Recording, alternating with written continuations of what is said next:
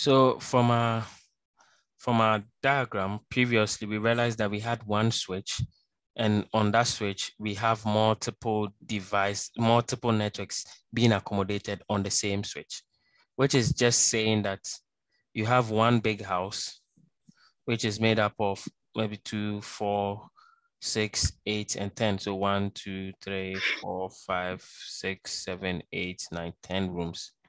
But you're saying that the first two is going to be for one particular family, and the second two rooms will be for another particular family, and the third room, the third, the third two will also be for another family. This is exactly what switch, um, sorry, VLANs are.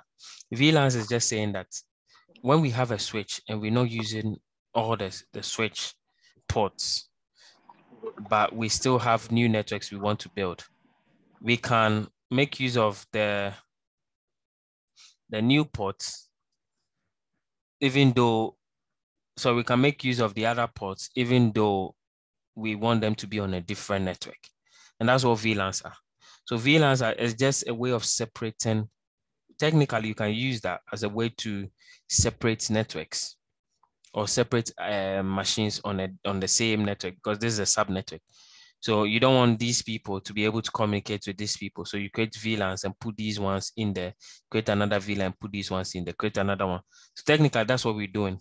Even though we've created four different subnets, what we wanted is to create four different networks, which is a subnet.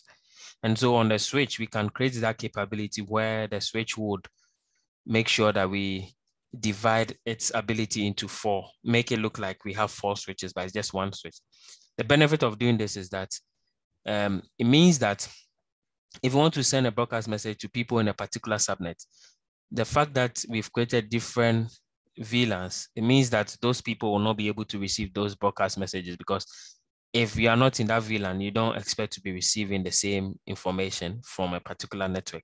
It also means that it can improve performance because it reduces how much bandwidth we are using when we send in broadcast messages. It also means that um, we are also protecting ourselves against some boundaries.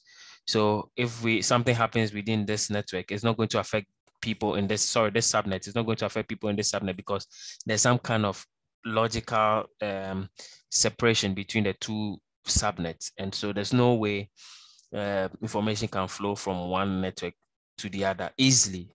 Like the, the keyword is easily because it has to go through some kind of uh, routing before they'll be able to send information to a different network.